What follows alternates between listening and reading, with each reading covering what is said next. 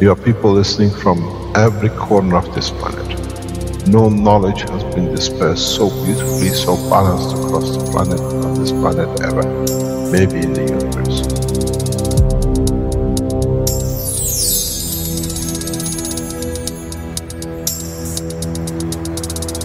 You have the full potential of achieving everything in the universe.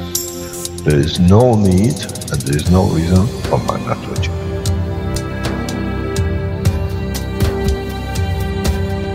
So, wherever you are, the way I taught you to make the coils double coil inside, you have continuous equal gravitational magnetic field.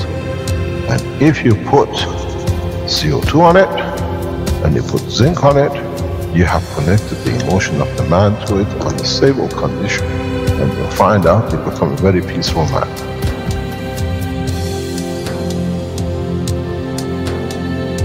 Here, instead of having galaxies and universes and creating connection magnetically, we have used the matter state gravitational magnetic field strength to dominate and dictate the shape of the plasma.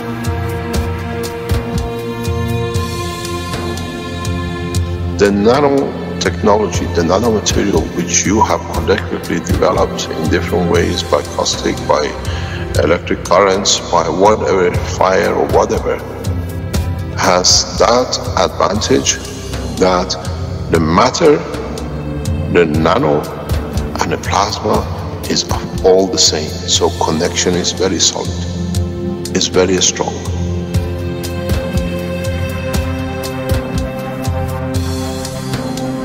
Power of the plasma technology, the way we have thought is beyond imagination of the man.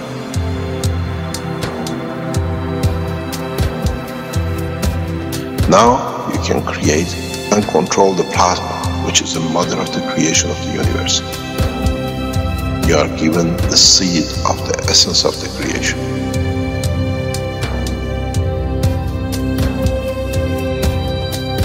The foundation does not belong to no one and is not made of one anymore.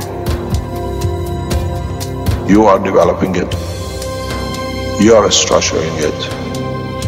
And from today, we will be still the same. We'll still develop the technology in different names, in different colors, in different nationalities which they do not exist.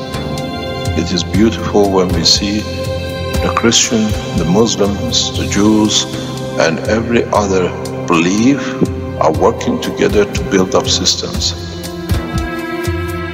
We have already become one faith.